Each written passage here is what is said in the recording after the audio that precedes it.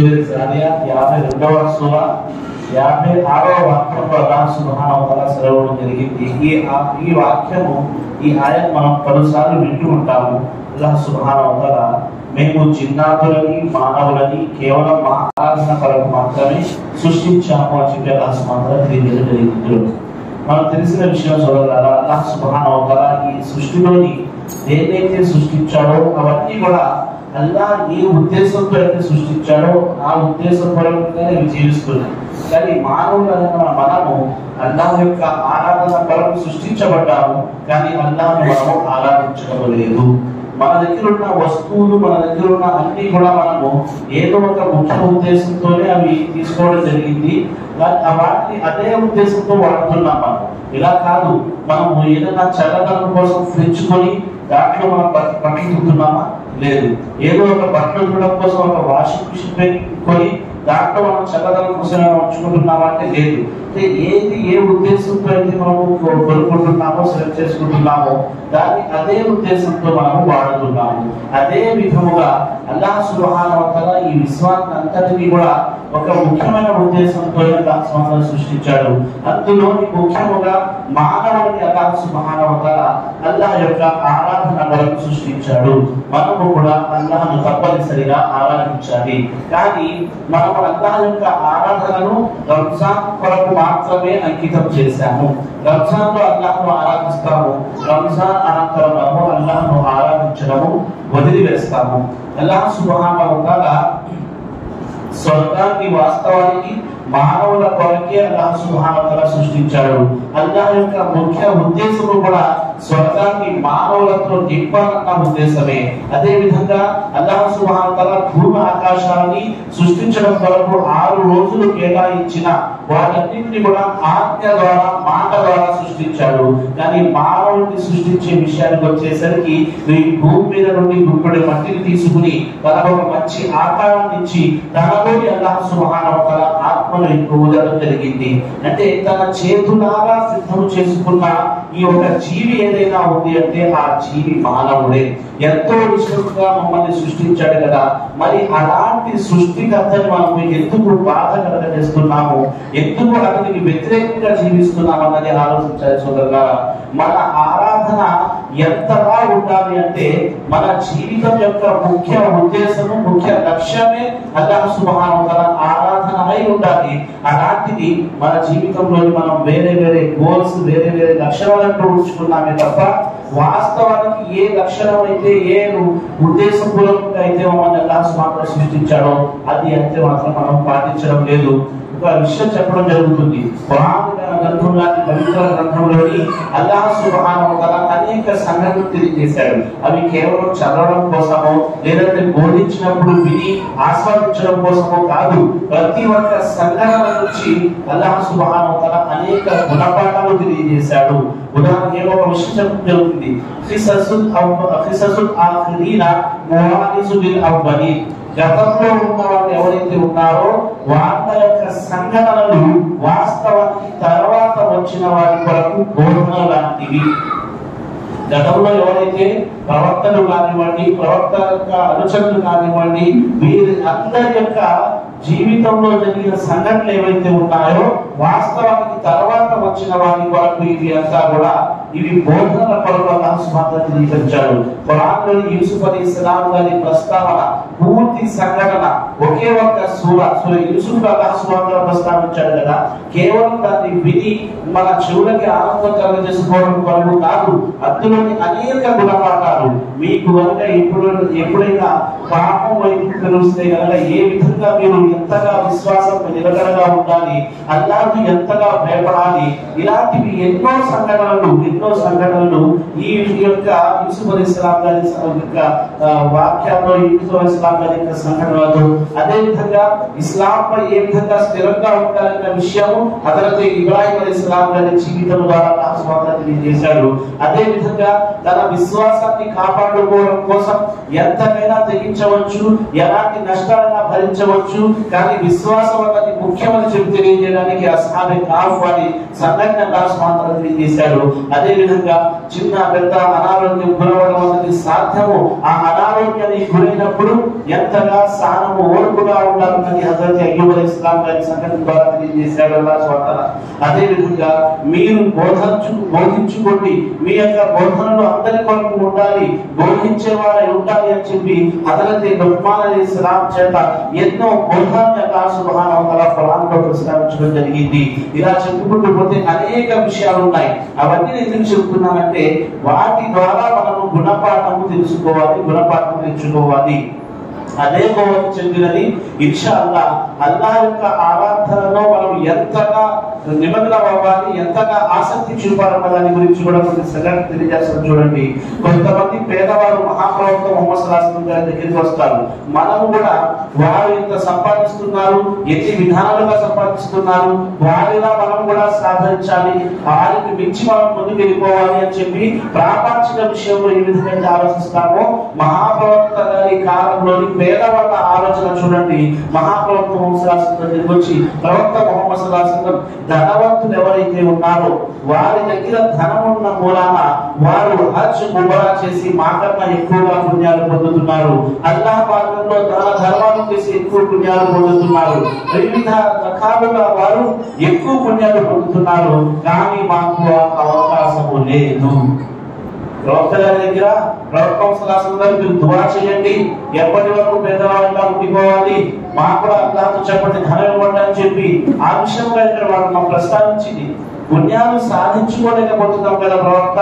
మరి మా పరిస్థితి ఏమిటి అని చెప్పి ప్రవక్త ముసలాసం గారి దగ్గర వాళ్ళు మొదలుపెట్టుకున్నప్పుడు ప్రవక్త ముసలాసం గారు అన్నారు. చూడండి ఫరజ్ నమాజ్తో పాటు తప్పనిసరిగా ఐదు పూటగా ఎల్లప్పుడూ ఫరజ్ నమాజ్ పాటిస్తూ ఫరజ్ నమాజ్ అనంతరం ఎవరైతే సుభానల్లా ముప్పై మూడు సార్లు సుభానందుల్లా ముప్పై మూడు సార్లు అల్లాహ్ అక్బర్ ముప్పై నాలుగు సార్లు ఎవరైతే పాటిస్తారో మహాప్రభు అన్నారు ఈ యొక్క ఆచరణ మీరు పాటించండి. తద్వారా అల్లాహ్ సుబ్హానహు వ మీకు పుణ్యాలను ఇస్తాడు. మీరు ఉత్తములు అవుతారు ఇది పాటిస్తే కనుక మీకన్నా ఉత్తములు ఎవరు కాదు ఒకవేళ ఇలాంటి ఆచరణే వాళ్ళు కూడా ఆచరిస్తే మీకన్నా ముందు కొనసాగిపోతారని చెప్పి మహాప్రభు ముసలాసం తెలియజేశారు. అంటే మనలో ఇలాంటి తపన ఉందా ఒక విశ్వాసికి చూసి ఒక నమాజికి చూసి మేమెందుకు నమాజ్ చదవలేకపోతున్నాము? మేమెందుకు అల్లాహను ఆరాధించుకోలేకపోతున్నామని ఆరాధన పట్ల తపన చింతన మనలో ఉందా సోదరులారా? ఏమాత్రము లేదు. ప్రాపంచిక విషయంలో అయితే మనకు కనబడుతున్నాయి కానీ ధార్మిక విషయాల్లో మాత్రం మనకు కనపడవు. కొన్ని రోజులు అయిపోయిన తర్వాత ధనవంతులు కూడా ఈ విషయాన్ని తెలుసుకుని వారితో ఏమాత్రం అసూయ చెందకుండా వెంటనే ఈ ఆచరణ వాళ్ళు కూడా మొదలు పెట్టేశారు మహాప్రవక్త మోసలాసం గారి దగ్గరికి పేదవాళ్ళు మళ్ళీ మహాప్రవక్త మోసలాసం గారు అన్నారు అల్లాహ్ తరపు నుంచి అది అల్లాహ్ ఎవరెవరు తెచ్చుకుంటే వాళ్ళకి ఇస్తారు. మీరు మీ యొక్క పుణ్యాలు కొనసాగనివ్వండి అని చెప్పి మహాప్రభు శాస్త్రం గారు వారికి నచ్చ చెప్పి పంపించడం జరిగింది. ఈ రోజు అల్లా దయా అల్లా కారుణ్యం వల్ల ఎక్కడ చూసినా మసీదులు ఉన్నాయి. మాకు మసీదులు వెళ్ళడానికి అనేక సదుపాయాలు ఉన్నాయి. అయినప్పటికీ కూడా మాకు మసీదు వెళ్ళడానికి మన దగ్గర సమయం లేదని చెప్పి భావిస్తున్నాము. రేపు అల్లాహ్ ముందు ఒక్కొక్క క్షణం కోసం మనం ఎంతో తప్పిస్తాము. కానీ ఒక్క క్షణం కూడా మాకు పుణ్యాలు చేసుకునే అవకాశం అంటూ రానే రాదు. ఒక వ్యక్తి మదీనా చివరి నుండి నమాజ్కు వచ్చేవాడు. అతనికి అనసరంగా ఉన్నారు మదీనా చివరి నుండి వచ్చేవాడు ఐదు పూటగా వచ్చేవాడు. అది కాకుండా ప్రతి నమాజ్కి ప్రతి పూట ఆయన ఎకామత్ కన్నా ముందు మస్జిద్లో హాజరయ్యేవాడు. ఐదు కోట్ల మదీనా చివరి నుండి నడుచుకుని వచ్చేవాడు ఐదు కోట్ల కూడా. ఇది రంజానికి సంబంధించింది కాదు. తన సాధారణమైన జీవితంలో చెబుతున్నాడు ఆయన. నేను గమనించేవాడిని ఏ నమాజ్లో కూడా ఆయన ఆలస్యంగా హాజరయ్యేవాడు కాడు. మహాప్రవక్త మొహమ్మద్ సల్లల్లాహు గారు అతన్ని చూసి అన్నారు ఓ బాబు నువ్వు ఎందుకు అంత దూరం నుంచి నడుచుకుంటూ వస్తావు? ఒక గాడిద గాని కచ్చిన గాడిద గాని కన్ను కొనుక్కోవచ్చు కదా. దాని మీద నువ్వు సవారీ రావచ్చు కదా అంటే ఆ వ్యక్తి అంటున్నాడు ప్రవక్త అలైహి గారు అల్లాహ్ నాకు స్తోమతని కలగజేశాడు. నేను కొనుక్కోగలను. కానీ మీ నోట ఒక మాట విన్నాను అదేమిటి అంటే ఎవరైతే మస్జిద్ వైపుకి నడుచుకుంటూ వస్తారో అల్లాహ్ సుబహాన వాళ్ళు వారు వేసే ప్రతి అడుగుకి బదులు ఒక పాపాన్ని క్షమించి ఇంకో అడుగుకి బదులు అల్లాహ్ సుబహాన ఒక పుణ్యాన్ని ప్రసాదిస్తాడు. నేను ఎందుకు నడుచుకుని వస్తానంటే ప్రవక్త నా యొక్క ఆలోచన ఏమిటి అంటే గతంలో నేను విన్నాను మీ ఇంటి దగ్గరలో ఒక ఇల్లు ఖాళీ అయ్యింది అని చెప్పి ఒక సహాబి మీ దగ్గరికి వచ్చి ఆ ఇంటిలోకి మారదామని చెప్పి కూడా అనుకుంటున్నాను ప్రవక్తతో దగ్గరలో ఉంటాను మస్జిద్కి దగ్గరలో ఉంటాను అని చెప్పి. కానీ మీరు ఏమన్నారు ఎంత దూరం నుంచి వస్తే అంత పుణ్యం అని చెప్పారు. నేను నా యొక్క ఆలోచన ఏంటంటే ప్రవక్త ముసలాస్లం గారు నేను నమాజ్ చదివి తిరిగి ఇంటికి వెళ్ళేలోగా నేను నా ఇంటిలోకి ప్రవేశించేంత వరకు నాపై ఒక్క పాపము కూడా ఉండకూడదని చెప్పి నేను సంకల్పం చేసుకున్న నమాజ్ ప్రతి నమాజ్కి ఏ పాత్ర పాపం చేయకుండా ఆయన హాజరవుతున్నారంటే మనము నమాజులే చదవకుంటే మా పరిస్థితి ఏమిటో ఒకసారి ఆలోచించండి. ఈ తరాబీ ఉంది. తరాబీ ఉంది. రంజాన్ నెల పూర్తిగా మనం చదువుతాం. ఇది ఎలా వచ్చింది అల్లా సుమహారావు దీని పట్ల ప్రత్యేకంగా ఏమైనా ఆజ్ఞ ఇచ్చారా లేదా మహాప్రభు దీని గురించి ఆజ్ఞ ఇచ్చారా? మొదటిగా మనలోని తపన చింతన చూసే ఈ నమాజ్ వచ్చింది. మహాప్రభు కౌన్సిల్ గారి ఇల్లు ఇంటి గోడలు చిన్నవిగా ఉంటాయి ప్రవక్త గారు రాత్రి నమాజ్ చదివినప్పుడు కొంతమంది సహాబాలను చూశారు. చూసిన తర్వాత ఈ రోజు కూడా మన దగ్గర ఎవరి దగ్గర డోపి గడ్డంతో కనపడి ఎక్కడికైనా దగ్గరికి వెళ్తూ ఉంటే ఆ వ్యక్తి పరిగెడుతూ ఉంటాడు. ఈరోజు శురుగంతే బాబా నమాజంలో అతనే కావడం పరిగెడుతూ ఉంటాడు. కొంత ఒక సమూహం ఉంది అదైతే మరీ దారుణం ఇంట్లో ఉండి భార్యతో చెప్పిస్తారు లేదని చెప్పు లేదని చెప్పండి అలాంటి వాళ్ళు కూడా ఉన్నారు. అయితే మహాప్రభు ముసలాసంగా నమాజ్ చదువుతుండగా చూసి సహాబాలు ఇళ్ళ నుంచి బయటకు వచ్చి నమాజ్ చేయడం మొదలు పెట్టేశారు అది ఫరజా నఫీలా సున్నత ఏమిటని కాదు. ప్రవక్త గారు ఈ సందర్భంలో ఏం చేస్తున్నారంటే ఆయన్ని అనుసరించడమే మా పని అని చెప్పి రావడం మొదలు పెట్టేశారు. ఒక రోజు చదివారు రెండో రోజు ప్రవర్తన చదవలేదు. రెండో రోజు చదివారు మూడో రోజు చదివారు. మూడో రోజు చదివేటప్పటికి ఈ సంఖ్య ఇంకా పెరిగిపోయింది. ఏ విధంగా అయితే ఒకరి గురించి వింటామో లేదో మనము ఆడితో జరిగింది ఒకటే ఉంటుంది. కానీ ఈ మసాలాల విషయాలను అన్ని అంటించి పది మాటలు చెప్తాం మనం. కానీ వాదనలో డిస్కషన్ ఏమయ్యో తెలుసా? అరే ప్రవక్త గారు రాత్రి నమాజ్ చదివారా ఈ రోజు కూడా చదువుతారేమో మనం కూడా చదువుతాం.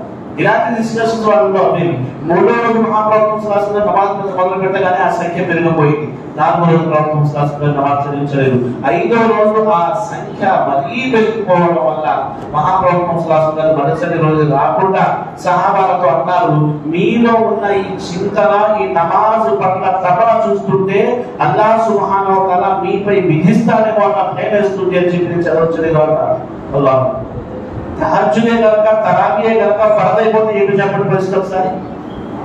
ఐదు కోట్ల నమాజంలోనే మాపై భారం అవుతుంది కదా.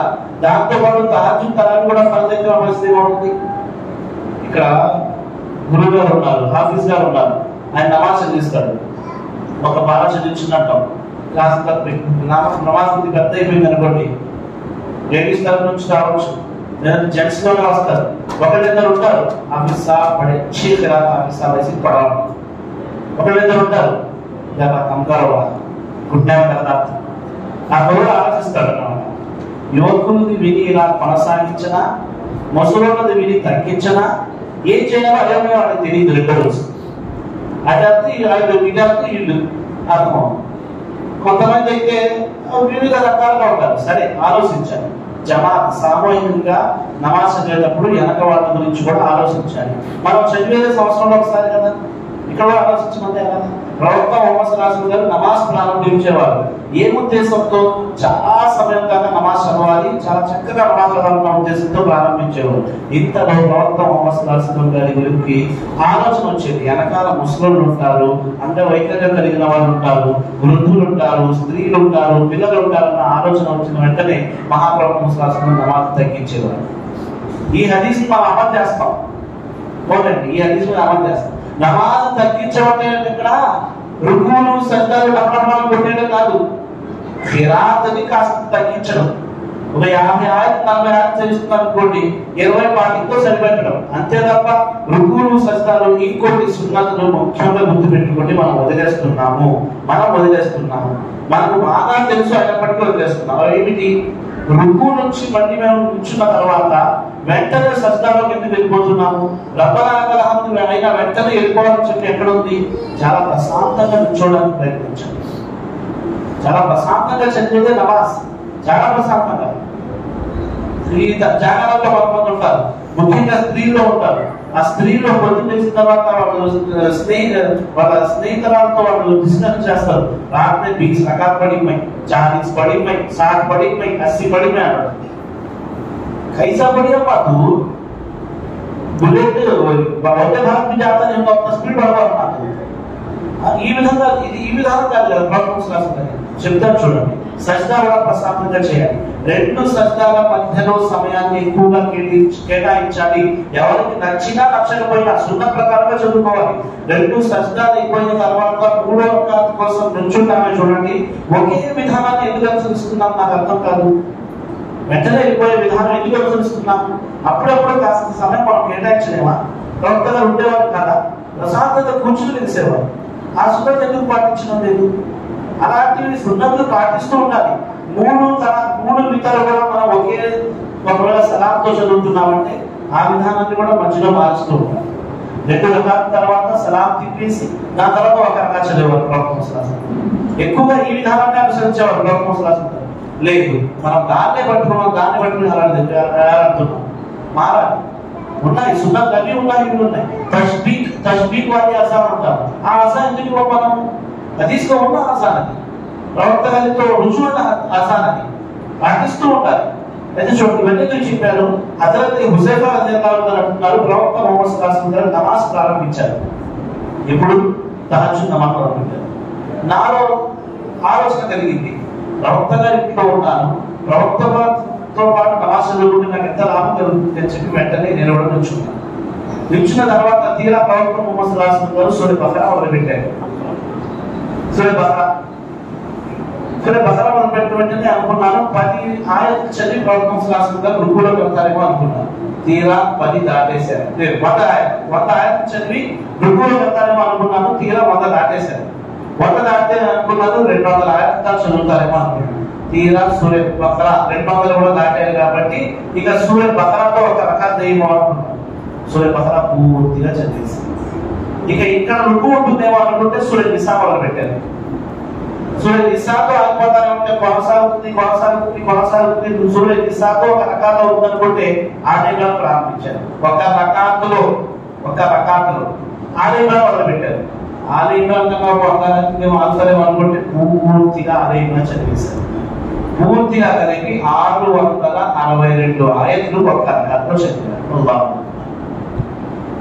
రంజాన్ కాకుండా ఇతర రోజుల్లో అల్లా ముందు ఒంటరిగా రాత్రి సమయంలో తాగి సమయంలో నుంచుంటున్నాము అల్లా మొదటి ఆకాశానికి వచ్చి ఎన్ని ఆఫర్స్ ఎన్ని సదుపాయాలు అల్లా మాకు ప్రసాదించి ఉన్నాడు. మాకు చేరువయ్యే అవకాశ సమయం అది అల్లా సుభాన్ అవుతారా మనం అల్లాహతో ఏమైనా అడుగుతున్నామా? ఒకసారి ఆలోచించండి.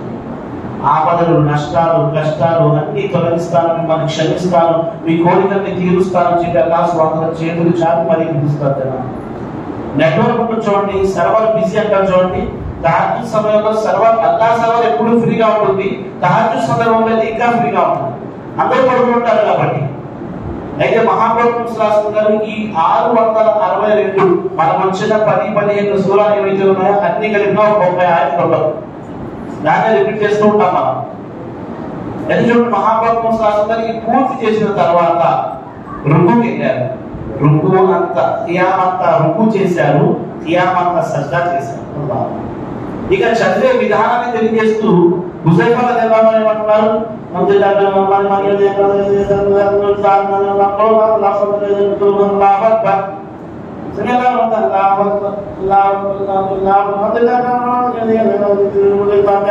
ఏదైనా చెప్పాలంటే చదివేశాను నేను చదివేశాను. కానీ ఇలాంటి నమాజులన్నీ కూడా తీసుకెళ్ళి చెత్తగొట్లో వేయడానికి తప్ప దేనికి పనికిరావు.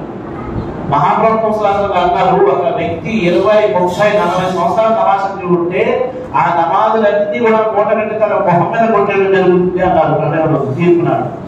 ఆ దాసుడు అల్లా ఇన్ని నమాజులు ఏంటి అంటే అందులో ఏమాత్రము ఆ, ఒక ఖుషు లేదు ఒక ఖుషు లేదు ఏకగ్రతతో నమాజు చదవలేదు. ఏదో ఆలోచనలతో సమయం దాని సమయాన్ని పాటించలేదు దాని నిజమైన విధానాన్ని పాటించలేదు అది చదివినా చదవకపోయిన ఉదాహరణ. ప్రవక్త మొహమ్మద్ సల్లాహం గారి నమాజ్ విధానాన్ని తెలియజేస్తూ హుజైఫా రజల్లా అంటున్నారు తర్తీబ్ అంటే ఆగి ఆగి చదివారు. అదే కాకుండా వాక్యాలలోని ఎక్కడైతే అల్లాహ్ యొక్క పొగడత వచ్చారో అక్కడ అల్లాహ్ను పొగుడుతూ వెళ్ళారు. ఎక్కడైతే రక్షణ కోరే ఆయతలు వచ్చాయో నఫిల్ నమాజ్ కాబట్టి అక్కడ వాటితో రక్షణ కోరుకుంటూ వెళ్ళిపోయారు. ఎక్కడైతే అల్లా యొక్క అనుగ్రహాన్ని స్వర్గాన్ని అడిగే అవకాశం వచ్చిందో అక్కడ అవన్నీ కూడా అల్లాహ్తో అడుగుతూ నమాజ్ కొనసాగించారు. అల్లాహ్ అక్బర్. మహాప్రవక్త ముహమ్మద్ సల్లాహు గారి ఒక్క నమాజ్ పరిస్థితి ఏమిటి? ఇదండి మనం పేరు పెట్టుకుని స్వర్గానికి వెళ్ళిపోతామని చెప్పి భావిస్తాం కదా. స్వయాన మొహమ్మద్ సల్లాహు గారు ఏమంటున్నారు? అల్లాహ్ యొక్క కారుణ్యం లేనిదే నేను కూడా స్వర్గానికి వెళ్ళలేను అన్నారు అల్లాహు అక్బర్. ఆయనే ఆ మాట అన్నారంటే మా పరిస్థితి ఏమిటి? ఏ విధంగా మనం ప్రశాంతంగా ఉండగలం? ఒక్కసారి ఆలోచించండి. మనకు ఏ మాత్రం ప్రశాంతత ఉండకూడదు. మనలో ఒక తపన ఆ, మనలో ఒక చింతన ఉండాలి. అది కూడా తీర్పు దినం నాడు మనం ఎలా ఫలితం పొందగలము ఎలా సాఫల్యం పొందగలము అని చెప్పి మహాప్రభుత్వం శ్లాసం గారు నమాజు చెందుతుంటే తర్వాత అక్షరం జిల్లా మహావారిని గమనించేవారు ఆయన కాళ్ళు రెండు కూడా లావైపోయి లావెక్కి వాస ఏదైతే కొత్త వాకు వచ్చేసేవి. అవి చూసిన అదే ఐషర జిల్లా అంటున్నారు. ప్రభుత్వం శాసనం గారు మీకు అల్లా సుమహానవతల మీరు పాపాలు చేయలేదు. అయినా మిమ్మల్ని క్షమించేశాడు. ఇకపై మీరు పాపాలు చేయరు. అవి కూడా అల్లా సుమహానవతల క్షమించేశాడు. అంటే చేసినా చేయకపోయినా మీకంటే ఏమీ లెక్కట్టు లేదు. లెక్క అసలు మీకు తీసుకోవడం మాత్రం అలాంటిది ఐదు కోట్ల నమాజ్తో కాకుండా ఇంత పెద్దగా ఇది పెద్ద పెద్ద రకాతులతో నమాజ్ చదవాల్సిన అవసరం ఏముంది అంటే మహాభారత ఏమన్నారు? అఫలా అకూన అబ్దన్ షకూర అల్లాహు కృతజ్ఞత తెలిపే దాసుడిగా నన్ను నేను మార్చుకోవద్దా అని చెప్పి అల్లాహు అంటే ఐదు కూడా నమాజ్ చదువుతూ తహజ్జుద్ చదివితే అప్పుడు నేను అల్లాహు కృతజ్ఞత తెలిపే దాసుడు అవుతాను అన్న ఉద్దేశంతో ప్రవర్తన అన్నారు మరి నమాజ్ని వదిలిపెట్టే మన పరిస్థితి ఏమిటి సోదరులారా? ఒక్కసారి ఆలోచించండి. మహాప్రభుత్వం శాస్త్రం గారి జీవిత కాలంలోని వాళ్ళని ఒక రకంగా చెప్పాలంటే వాస్తవానికి నమాజ్ చదవండి ఉపవాసాలు ఉండండి దాన ధర్మాలు చేయండి ఇలాంటివన్నీ నిజంగా చెప్పాలంటే ఎవరు చెప్పాలో తెలుసా సోదరులారా ఎవరైతే నవ ముస్లింలు ఉంటారో కొత్తగా ఇస్లాంలోకి వస్తారో వాళ్ళని చెప్పాల్సిన అవసరం ఉండాలి తప్ప ముస్లిం సమాజంలో తెల్లారితే ఇది తప్పనిసరిగా చేసుకునే పనులే ఉండాలి చూడాలా ఎందుకు తెలుసా? మహాప్రభుత్వం శాసనం గారు వాళ్ళని ఆపేవారు ఏనాడు కూడా ప్రభుత్వం శాసనం గారు ఆర్తి ఇచ్చేసారు నమాజ్ చదవండి అని చెప్పి. నమాజ్ చదవకపోతే ఏమిటి నష్టాలని చెప్పి అని కూడా తెలియజేశారు. వాళ్ళు నమాజ్ విడిచిపెట్టకుండా చదివేవారు ఏవైతే నమాజ్ విడిచిపెట్టడము ఆలస్యం చేయడము ఇతరులను చూపడం కోసం చదవడం కొరకు ఏవైతే ఆ, శిక్షలు తెలియజేయబడ్డాయో అవన్నీ కూడా కపటుల కోసం తెలియజేయబడ్డాయి. చూడండి కావాలండి కపటుల కోసం తెలియజేయబడ్డాయి. ముస్లిం సమాజం నమాజ్ ఉండేది కాదు అప్పట్లో. వాళ్ళు మహాప్రవక్త బోధనకి కొద్దిగా దూరం ఉంటేనే నేను ఎక్కడ విశ్వాసాన్ని కోల్పోయామని చెప్పి భయపడేవారు నమాజులు కాదు. ఎప్పుడో ఒకసారి ప్రసంగం నడుస్తు నడుస్తుంది అనుకోండి ప్రవక్త గారు ప్రసంగం చేసినప్పుడు కాస్త ఆలస్యంగా వస్తేనే నేను విశ్వాసాన్ని కోల్పోయానేమో కప్పులతో చేరిపోయానేమో అని చెప్పి భయపడిపోయేవారు. అలాంటిది మేము అన్ని వదిలేసి కూడా ముస్లిం అని చెప్పి ఎలా భావిస్తున్నామో తెలుసుకోవడంలా సోదరులా మహాప్రభుత్వం గారు వాళ్ళని ఆపేవారు. బను సాద్ అన్న ఒక తెగకి చెందిన స్త్రీ హజరత్ ఆయిషా రజల్లాహు దగ్గర కూర్చుని ఉంది. ఆ సందర్భంలో ప్రభుత్వం శాసనం గారు వచ్చారు. అడిగారు ఈవిడ ఎవరో? చెప్పి అడిగితే హజరత్ ఆయిషా రజల్లాహు అని చెప్పి ప్రభుత్వం శాసనం గారు బను సాద్ తెగకి చెందిన స్త్రీ ఏంటి? అంతగా అంతగా ఆగకుండా హజరత్ ఆయిషా ఏమన్నారు? ఈవిడ చాలా పుణ్యాత్మరాలు రాత్రంతా నమాజ్ చదువుతుంది ఈవిడ చెప్పారు అప్పుడు మహాప్రభుత్వం శాసనం గారు ఏమన్నారు ఆహా చాలా మంచి పని నువ్వు చదవమా? లేదు. అయ్యో ఎందుకమ్మా రాత్రంతా నమాజ్ చదువుతున్నావు అంతలా నువ్వు నమాజ్ చదవకు. అలా నమాజ్ చదివితే నువ్వు అలసిపోతావు. నువ్వు అల్లాను ఆరాధిస్తూ ఆరాధిస్తూ అలసిపోతావేమో కానీ అల్లా నీకు పుణ్యాన్ని ఇవ్వడంలో మాత్రం ఏ మాత్రం అలసిపోడు అంటే ఎంత దాకా నీకు బలం ఉందో అంత దాకా ఆరాధించు జైనబ్ చేద్దా ఉందని గంట ప్రభుత్వం శాస్త్రంగా వచ్చారు. వస్తే మధ్యలో ఒక తాడు కట్టేసి ఉంది అంటే అక్కడ క- బట్టలు కూడా ఏం లేదు. గదిలో మధ్యలో కట్టేసి ఉంటే ప్రవక్త గారు అడిగారు. ఈ తాడు ఏంటి అని అడిగారు. అడిగితే అప్పుడు చెప్పారు ప్రభుత్వం శాస్త్రం గారు ఇది జైనబ్ కట్టుకుంది ఎందుకంటే ఈ తాడు ఆవిడకి నమాజు చదవాలన్న తపన. ఫరత్ నమాజులు కాదు రాత్రి నమాజులు. ఫరత్ నమాజులు వదిలిపెట్టే ప్రసక్తే లేదు అసలు. రాత్రి పూట కూడా అల్లా ముందు నుంచి దువాలు చేసుకోవాలి.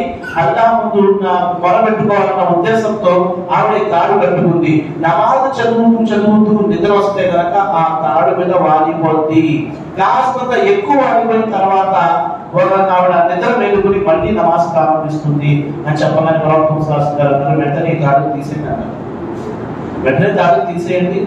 ఎంతవరకు అయితే నిద్ర రాదో అంతవరకు చదవండి. నిద్ర వస్తుందో ఇక నమాజ్ నమాజ్ నుంచి ఆగిపోండి చూడండి.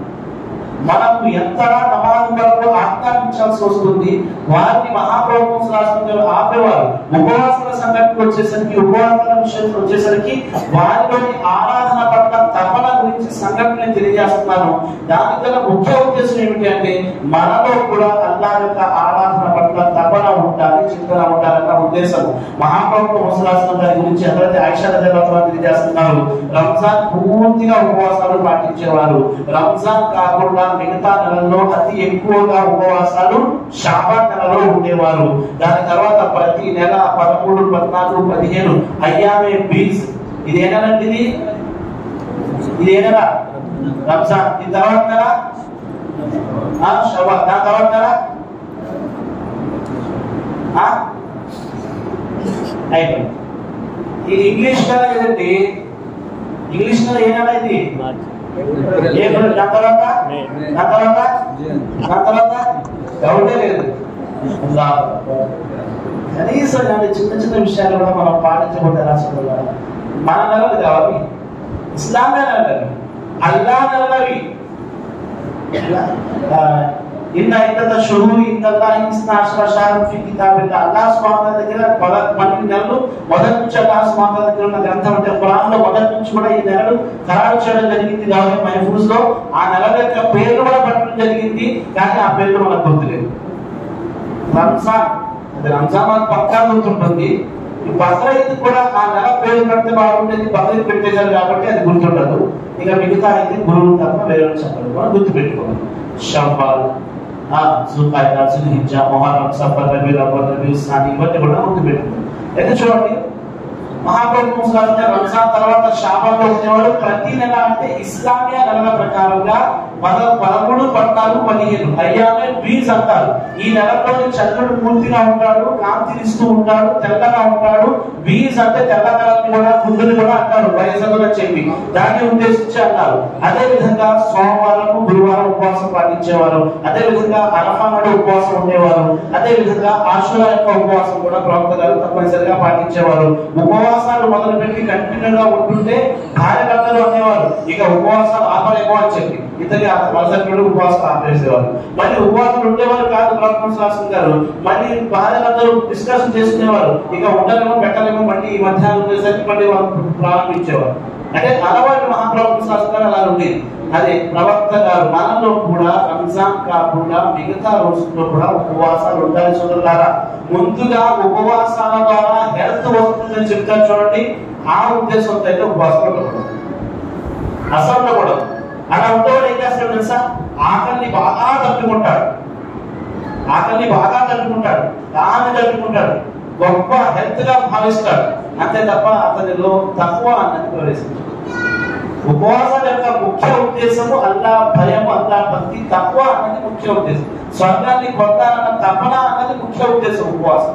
అవి ఎప్పుడు వస్తుంది? అల్లా విధిగా భావించి దాన్ని పాటించాలి.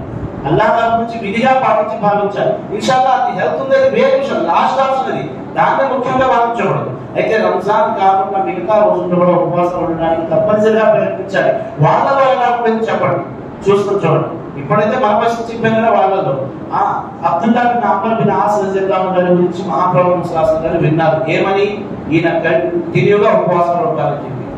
రాత్రంతా ఆశ అవుతారని చెప్పి విన్నారు. ప్రభుత్వం ముస్లాసం గారు పిలిపించారు పిలిపించి ఏమిటయ్యా? నువ్వు కంటిన్యూగా ఉపవాసం ఉంటావంట రాత్రంతా మాస చదువుతావంట అని చెప్పి అలా చెయ్యకు అని చెప్పి వెంటనే చెప్పలేదు ప్రవక్త ముస్లాసం శిక్షణ ఇచ్చే విధానం చూడండి. ఏమన్నా తెలుసా? రాత్రి అంతా నువ్వు నమాజ్ చదివితే కళ్ళు లోనికి వెళ్ళిపోతాయి. నువ్వు జీవితాంతం ఇలా కంటిన్యూగా ఉపవాసాలు ఉంటే అనారోగ్యానికి గురవుతావు. ముందు ముందు నువ్వు ఉపవాసాలు పాటించలేవు ముందు దాని వల్ల నష్టం అంటే తెలియజేశారు. దాని తర్వాత ఏమన్నారు ప్రభుత్వం రాసుకుంటారు? ప్రతి నెల కనీసం ఇదైనా పాటించండి ఎలా కోసము. ప్రతి నెల మూడు ఉపవాసాలు ఉంటూ ముట్టు నువ్వు జీవితాంతం ఉపవాసాలు ఉండే పుణ్యాన్ని ఎలా నీకు ప్రసాదిస్తాడు. కేవలం మూడు ఉపవాసాలు ప్రతి నెల ఉంటూ ఉంటూ నువ్వు నీకు జీవితాంతం ఉపవాసాలు ఉండే పుణ్యాన్ని ఎలా ప్రసాదిస్తాడు అంటే ఆయన ఏమన్నారు? లేదు ప్రభుత్వం రాసుకుంటారు. నాకు దాని కన్నా ఎక్కువ బలం ఉంది నేను మూడు ఉపవాసాల కన్నా ఎక్కువ ఉండేది కనుక అంత బలం ఉంది నాకు అంట. అప్పుడు మహాప్రభు శాసన అన్నారు సరే అయ్యా దావుద్ అలీ ఇస్లాం గారి ఉపవాసం ఉండు. దావుద్ హుసన్ ఇస్లాం గారి ఉపవాసం అంటే ఒక రోజు ఉపవాసం ఉండడం ఒక రోజు విడిచిపెట్టాడు విరామించడం. మళ్ళీ ఉపవాసం మళ్ళీ విరామించడం. మళ్ళీ ఉపవాసం మళ్ళీ విరామించడం. రంజాన్ కాలంలో రంజాన్ అలా చేయకూడదు. తెలుసు కదా? ఇక ఈ విధంగా మిగతా రోజుల్లో ఉపవాసం ఉంటుంది మహాప్రభు శాసన గారు వారికి చెప్పే విషయంలో ఏ విధంగా అయితే బోధించేవారు అదే దగ్గర దగ్గరికి వచ్చారు ముగ్గురు. ప్రభు శాసన గారు అప్పుడు లేదు ఆయన మహాప్రభు శాసన గారి యొక్క ఆరాధన గురించి అడిగారు. విన్న తర్వాత మేము చేసుకుని చాలా తక్కువగా చేయమన్నాను. నేను పర్వతాల్లోకి వెళ్ళిపోయి ఇక్కడ జనాల మధ్య ఉండను నేను.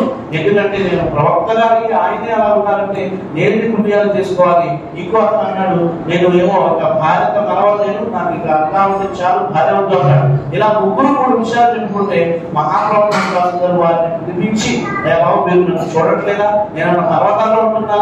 జనాల మధ్యలో ఉండి జనాల యొక్క అవసరాలు తీరుస్తూ నా భార్యను పట్టించుకుంటూ పిల్లల్ని పట్టించుకుంటూ వీటితో పాటు అల్లాహను ఆరాధిస్తున్నాను మీరు దయచేసి అలా చేయకండి అని చెప్పి ఆకాశం వచ్చే ద్వారా. ఇలా చెప్పుకుంటూ పోతే గనక అనేక విషయాలు కేవలము నమాజ్ ఉపవాసాలు మాత్రం తెలియజేశాను అల్లాహ్ మార్గంలో అమల మరణ పొందడం అల్లాహ్ మార్గంలో యుద్ధం చేయడం అనేది మనకు లేదు. ఒకవేళ ఉంటే కనుక మనలో తపన ఉందా? ఈ రోజుల్లో దాని అవసరం లేదనుకోండి. అయినప్పటికీ ప్రతి విశ్వాస యొక్క హృదయంలో దీని పట్ల తప్పనిసరిగా ప్రేమ ఉండాలి.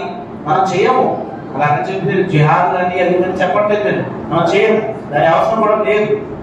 పరిస్థితిని బట్టి మనకు ఇక్కడ అవసరం లేదు. కానీ హృదయంలో ఏదో ఒక మూల దాని పట్ల తప్పనిసరిగా ప్రేమ అంటూ ఉండాలి చూడాలి అది కూడా విశ్వాసంలో ఒక భాగమే. మీరేమైనా అనుకోండి. మీరేమైనా అనుకోండి. వాళ్ళలో ఎంత రకంగా ఉండేది మహాప్రభు విశ్వాసం గారి దగ్గరికి అమర్ బిన్ జమ్మూ అన్న ఒక వ్యక్తి వస్తున్నారు. ఈయన రాక ముందు ఏమైంది? తన ఊరు వాళ్ళ దగ్గర చెప్పుకొచ్చారు ఏమని? ఆయన గుడ్డివాడు ఆయన. ఆయన వచ్చే ముందు అంటున్నాడు నేను యుద్ధంలో వెళ్తానంటే ఊరు జనం అన్నారు. ఆ గుడ్డిగా వేసుకుని యుద్ధంలోకి వెళ్తానయ్యా ఉండమని. లేదు నేను తప్పనిసరిగా కొడుకు చూస్తే యుద్ధానికి బయలుదేరిపోయాడు. మళ్ళీ భార్య దగ్గరికి వెళ్ళి భార్య దగ్గరికి చెప్పాడు పెట్టినావా యుద్ధానికి బయలుదేరుతున్నానంటే ఆవిడ చూడండి ఇప్పుడున్న పరిస్థితిలో స్త్రీలైతే ఏంటి ఎక్కడ వెళ్తాం యుద్ధానికి ఆ రెండో కాలు కూడా ఎక్కడికి మౌనం కూర్చోబడతారు. యుద్ధానికి అంట యుద్ధానికి బయలుదేరాడు ఎవరు ముద్రించాలని. వాళ్ళలో తపన చూడండి. ఆవిడ చెప్పిన మాట ఏమిటి? వెళ్ళిపోయా అని చెప్పలేదు. ఈయన తప్పనిసరిగా ఏమన్నా ఉద్దేశం ఏమో తెలుసు ఆవిడ? మీరు తిరిగి వచ్చేస్తారని చెప్పి నాకు భయం వేస్తున్నాను ఎవరు తిట్టినా మంచి కోపం వచ్చిందో లేదు కానీ భార్య తిరిగితే మాత్రం ఎక్కడ లేదు కోపం వచ్చిందో లేదు ఏ విషయాన్నైనా సీరియస్గా తీసుకుంటాడో తెలియదు కానీ భార్య వాళ్ళు మాట్లాడితే మాత్రం దాన్ని సీరియస్గా తీసుకుంటాడు. చే క్యాచ్ దగ్గరే ఎస్ఐ బాధ కావాలనుకుంటున్నాను ఆయన కూడా ఆవిడ చెప్పే ఉద్దేశం ఏంటంటే ఇలా తిరిగి రావడం తప్పనిసరిగా ఎలా అన్న ఉద్దేశం చెప్పింది మీరు తిరిగి వచ్చేస్తారేమో అని చెప్పి భయం ఉంది నాకు అని చెప్తే ఆయన అల్లాహ్ దువా చేసుకుంటూ వెళ్ళాడు. అల్లా నాకు ఎట్టి పరిస్థితుల్లో కూడా నా ఇంటికి మళ్ళీ తిరిగి పంపించవద్దు అని చెప్పి దువా చేసుకుంటూ వెళ్ళాడు. మహాప్రభు ముసలాసం దగ్గర హాజరయ్యి ప్రవక్త ముసలాసం గారు నేను యుద్ధంలో చే- చేయాలనుకుంటున్నాను అంటే ప్రవక్త గారు మరి ఉదయ మీకు కాలు బాగాలేదు కదా అంటే లేదు. ఆయన ఏదో చిన్న పిల్లలు ఏదైతే ఇచ్చేస్తారో అలాగ ప్రవక్త ముసలాసం గారి దగ్గర ఎంత ప్రవక్త ఎంత ప్రవక్త సరే అని చెప్పి ప్రవక్త ముసలాసం పంపించారు. శత్రువుని చీల్చుతూ చెడ్డాలతో ఆయన ముందుకు కొనసాగుతూ చివరికి అంతా మార్గంలో అమరవాదం పొందారు. కొన్ని రివాయత్ ఇవి కూడా కావచ్చు దాంతో పాటు నేను అదేమిటంటే ఆయనకి ఆయన కొడుకు ఇద్దరు అమరవాదం పొందితే ఒంటె మీద మదీనాకి తీసుకురావడానికి ప్రయత్నించడం జరిగింది. కానీ ఆ ఒంటె మదీనాకి రావడానికి ఏమాత్రం సిద్ధం అవ్వలేదు. కారణం ఏంటంటే ప్రవక్త గారు వ్యక్తి చెప్పారు ఆయన దువా చేశారు. ఎట్టి పరిస్థితుల్లో కూడా తిప్పి మళ్ళీ తిరిగి మళ్ళీ మా ఇంటికి పంపించొద్దని చెప్పి దువా చేశారు ప్రవక్త. అన్న మాట అన్నారు. ప్రవక్త గారు అంటున్నారు అమర్ బిన్ జమూన్ నేను స్వర్గంలో చూస్తున్నాను అన్నారు ప్రవక్త నేను స్వర్గంలో చూస్తున్నాను కానీ ఆయన పుట్టడం లేదు. చక్కెర నడుచుకుంటూ స్వర్గంలో వెళ్తున్నాను అక్బర్. ఈ విధంగా చెప్పుకుంటూ పోతే అనేక సంఘటనలు అమరవరణం పొందే విషయంలో ఉంటాయి. వారు అల్లా యొక్క మాటని అన్ని మాటల కన్నా ముందుంచేవారు. ప్రవక్త ముహమ్మద్ సల్లల్లాహు ప్రాణాలకి తన ప్రాణాలు అడ్డు పెట్టేవారు అలాగ వారు విశ్వాసం నిలకడగా ఉంటూ అల్లాహను ఆరాధించేవారు. యుద్ధంలో సైతం నమాజ్ పెట్టేవారు కాదు సోదరులారా దాన ధర్మాల విషయానికి వస్తే కనుక అదంతే ఉమర్ రజల్లాహు నివాసిస్తున్నారు. ఈ రోజు నేను ఎట్టి పరిస్థితుల్లో అయినా అబూబకర్ కన్నా ముందు తిరుగుతున్నాను ఎందుకంటే ప్రతిసారి అబూబకర్ ముందుంటారు. ఈ రోజు మహాప్రభు ముస్లాసం గారు అల్లా మార్గంలో ఖర్చు చేయమన్నారు కదా. నా దగ్గర ఉన్న సొమ్మంతటి నుంచి ఒక అర సొమ్ము సగం సొమ్ము తీసుకొచ్చి ప్రవక్త గారి దగ్గర పెట్టేస్తారని చెప్పి ప్రవక్త గారు తెచ్చి తెచ్చిపెట్టారు.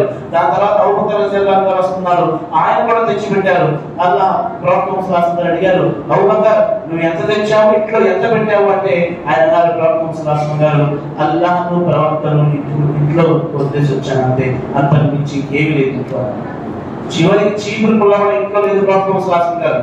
నా ఆస్తంతా అంతా తెచ్చి అల్లాహ్ మార్గంలో పెట్టేశారు అంటే అవతల ఇవ్వలేదని అనుకుంటున్నారు నేను ఎప్పటికి కూడా అవ్వకుండా ముందుకు వెళ్ళలేను అని చెప్పి అనుకుంటారు చూడండి ఏ విషయంలో? అదే విధంగా ప్రవక్త గారు స్వయాన ఏమంటున్నారు నాకు గనుక అల్లాహ సుబ్హానహు కాల తఆలా పర్వతం అంత బంగారం ఇస్తే మూడు రోజులు గడిచే కన్నా ముందు నేను దాన్ని అల్లాహ్ మార్గంలో ఖర్చు పెట్టేస్తాను. కేవలం అప్పు ఎంతైతే ఉందో అంత మాత్రమే నా దగ్గర ఉంచుకుంటానని చెప్పి ప్రభుత్వం తెలియజేశారు. ఈ హదీస్లోని ఈ సంగతిలోని అప్పు గురించి ప్రస్తావన ప్రత్యేకంగా చేశారు చూడండి ప్రభుత్వం శాసనం గారు. ఇది చాలా తీవ్రమైనది కఠినమైనది. అందుకోసం దాని ప్రస్తావన ప్రవక్త ప్రత్యేకంగా చేశారు.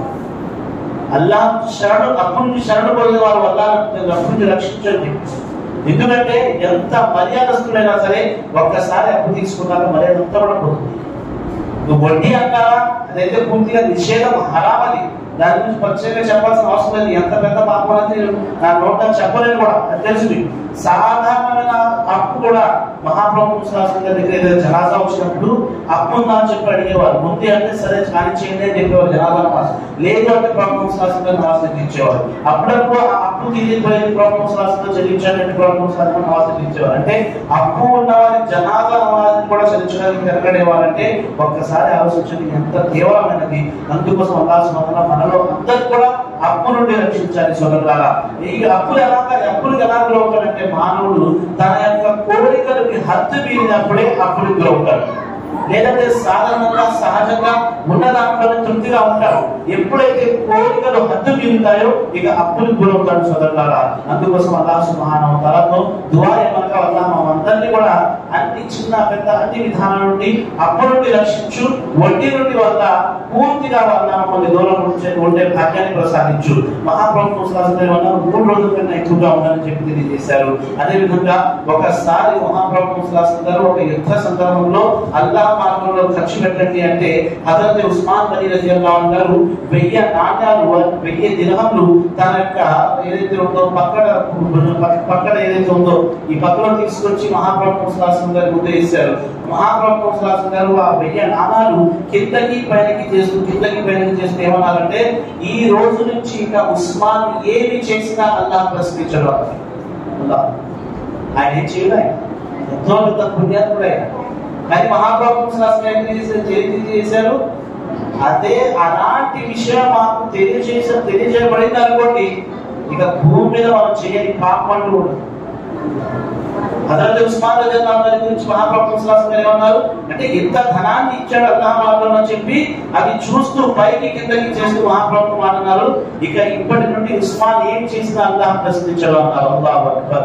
ఈ విధంగా వారు దాన ధర్మాలు చేసేవారు అమూల్య చేస్తున్నారు. మహాప్రభు శాస్త్రం అన్నారు ఒక బానిసని అల్లాహ్ మార్గం అల్లాహ్ సన్నిధి కోసం అల్లాహ్ ప్రేమ కోసం ఒకవేళ విధిస్తే కనుక ఆ బానిస యొక్క ప్రతి భాగానికి బదులు అల్లాహ్ సుబ్హానహు ఆ వ్యక్తి నరకాల నుండి రక్షిస్తాడని చెప్పి మహాప్రభు శాస్త్ర తెలియజేశారు ఈ విధంగా వారి యొక్క ఆరాధనలో అన్ని విషయాల్లో కూడా నమాజ్లో కానివ్వండి ఉపవాసాల్లో కానివ్వండి దాన ధర్మాల్లో కానివ్వండి అల్లాహ్ మార్గంలో యుద్ధం విషయంలో కానివ్వండి ఇలా అన్ని విషయాల్లో కూడా వారు అల్లాహ్ యొక్క ఆరాధనలో పూర్తిగా తపన కలిగి ఉండేవారు. ఎంతో ఆసక్తిగా వాళ్ళ అల్లాహ్ను ఆరాధించడానికి ముందంజలో ఉండేవారు. ఎలాగా ఒక్కసారి ప్రవక్త ఆ వాళ్ళతో ముఖం తిప్పుకున్నారా? ఆ విషయం వైపు చనిపోవడానికి సిద్ధపడతారేమో కానీ ఇంకోసారి ఆ పాపము కానివ్వండి ఆ పని అనేది చేసేవారు కాదు. ఒక్క చివరి యొక్క సంఘటన చెప్పి ముగిస్తాను. మహాప్రవక్త మొహమ్మద్ సల్లాహ్ గారు కొంతమంది సహాబాలు ఉండగా ఒక మాట అన్నారు ఏమని? బంగారం పడగడం ఆయనకు అప్పటికి తెలియదు ఆ సహాబి ఈ సందర్భాల్లో ఈ సంఘటన వినే ఉంటాము. ఆ సహాబి బంగారం ఉంగరం తులసి ఉన్నారు. ఆయనకి తెలియదు మహాప్రభు శాసనం అన్నారు బంగారం తొడగడం బంగారం వేసుకోవడం అన్నది నరకాన్ని వేసుకున్నట్టే అది మగవాని కొరకు పూర్తిగా హరాం నిషేధించబడింది అన్నారు. ఇది విన్న ఆయన తన ఏదైతే బోటన వేలు ఉందో ఆ వేలుతో అక్కడికక్కడే ఆ ఉగ్రాన్ని తొలగించారు. తొలగించడమే కాకుండా మహాప్రభు శాసనం జరిగిపోయిన తర్వాత ఇతర సహాబాలు ఆయనతో అన్నారు ఏమని? ప్రవక్తగా వెళ్ళిపోయారు. ఈ బంగారాన్ని నువ్వు తొలగించేశావు. ఇక తీసుకెళ్ళి నీ భార్యకి ఇవ్వు అన్నారు.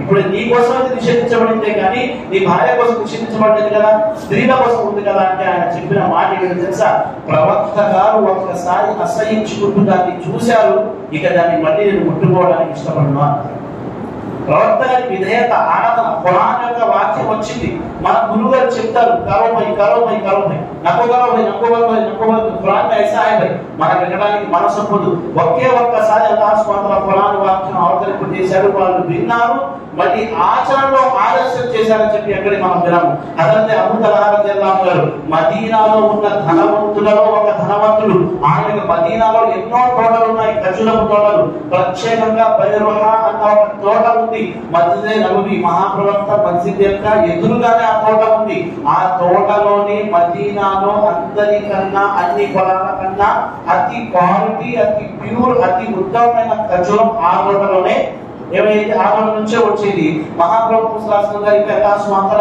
ఆయన అవతరింపజేశాడు. లం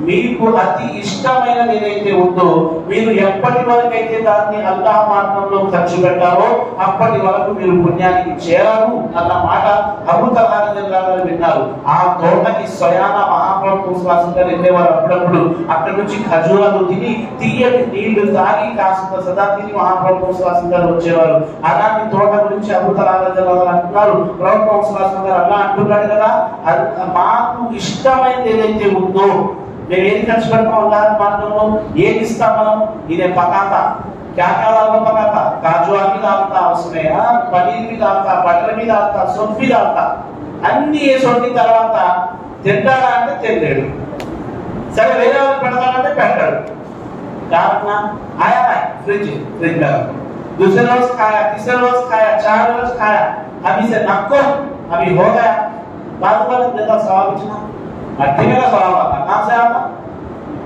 ఎప్పటి నుంచి వస్తుంది కొంచెం ఎప్పటి నుంచి వస్తుంది మహాప్రభు ముసలాసంగా అదే ఐశ్వర్య జగన్ ఏమన్నారు నువ్వు వంట చేసేటప్పుడు కూరలో కాస్త నీళ్ళు ఎక్కువ వేయాలి కూరలో నీళ్ళు ఎక్కువ వేయడం వల్ల టేస్ట్ ఉంటుందా వెళ్ళిపోతుందా తగ్గిపోతుంది అయినా కానీ పర్లేదు అలా కాస్త షేర్వా షూర్వా ఏదైతే గ్రేవీ ఉందో అది ఎక్కువ రావడం వల్ల ఎరుగు గురువారం కూడా నువ్వు కూడా పంపించో నా మహాప్రభు అలాంటిది లేదు. కూడగట్టడము జమ చేయడము దాచి ఉంచడము సహజాతి అల్లా లేకుండా కీలే పడగా జరిగింది రెండవది ఆత్మ ఏంటి? నువ్వు కడుపు నిండా తిని నీ యొక్క ఎరుగు పురుగు ఉన్న కానీ ఆకలితో ఉంటే నీ విశ్వాసం పూర్తిగా నీ యొక్క ఇబ్బంది నుండి వాళ్ళ రక్షణ లేదంటే వాళ్ళకి రక్షణ? అప్పుడు కూడా అదే మాట నా ప్రవక్త ముసలాసం స్వర్గాన్ని ఇచ్చేవాళ్ళు ఇలాంటివన్నీ ఎందుకు తీర్చేయబడ్డాయి మహాప్రభు ముసలాసం గారు అల్లా క్షమించుగాక అల్లా ఇస్లాం గురించి చెప్పండి అని చెప్పగానే కడుగ తీసుకుని బయలుదేరిపోలేదు కదా? మరి ఎలా సాధ్యమైంది ఇప్పటి వరకు ప్రపంచం అలాంటి వ్యక్తిని చూడలేదు ఇక చూడకూడదు. ఆయన కన్నా ముందు ఆయన తర్వాత ఎవరు అలాంటి వారు రారు. ఎలాగ ఆ ఫాదర్ గారికి మహాప్రభు గారికి? యుద్ధాలకు వచ్చిందా? అవసరమైందా లేనే లేదు ఇరవై ఎనిమిది యుద్ధాలలో ఇరువరుగులా కలిపి మహా అయితే నూట ఎనిమిది మంది చనిపోయారు. అంతే. అంతే సంఖ్య దానికి మించలేదు. మరి ఎలా సాధ్యమైంది? ప్రవక్త ప్రవక్త మొహమ్మద్ గారి నైతికత సత్ప్రవర్తన నడవడిక విధి విధానాలు ఎంత ఉత్తమంగా ఉండేది శత్రువులు సైతం మహాప్రభు సల్లాహం గారికి సలాం కొట్టేవారు ఆయన యొక్క ఆయన పొగిడేవారు ఆయన యొక్క గుణాలతో వాళ్ళందరూ కూడా సంతోషపడేవారు అంటే దాని ద్వారా కారణం ఏంటి? మహాప్రభు సల్లాహం గారి నడవడిక అలా ఉండేది. ఈ విధంగా మహాప్రభు సులాసన గారు ఏదైతే ఈ విషయాలను చెప్పి తెలియజేశానో మీకు అల్లాహ్ యొక్క ఆరాధన వాళ్ళు ఎంతగా తపన ఉండేది ఎంతగా వాళ్ళు దాన్ని ఆరాధించేవారు అల్లాహ్ యొక్క ఆరాధన పట్ల ఎంతగా వాళ్ళు ఈ విధంగా వాళ్ళు యుద్ధాలు ఉన్నారండి అన్ని గుణాల్లో కూడా అన్ని కోణాల్లో కూడా అల్లాహ్ యొక్క ఆరాధనకి వారు ప్రాధాన్యత ఇచ్చేవారు. మనం కూడా అలా సుబ్హానహు వ మనందరికీ కూడా అలాంటి బుద్ధిని అవకాశాన్ని ప్రసాదించుగాక రంజాన్ కొరకే అల్లా యొక్క ఆరాధనని అంకితం చేయకుండా రంజాన్ అనంతరం కూడా అల్లాహ్ను ఆరాధిస్తూ అల్లాహ్ యొక్క సంతోషం అల్లాహ్ యొక్క సంతోషాన్ని తెచ్చిపెట్టే ఆచరణని పాటించే భాగ్యం అల్లా మాకు ప్రసాదించుగాక.